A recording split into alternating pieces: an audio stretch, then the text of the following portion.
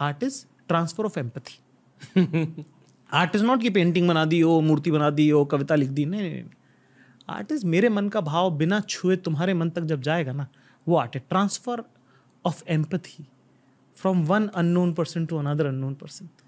is art and that is the magic of art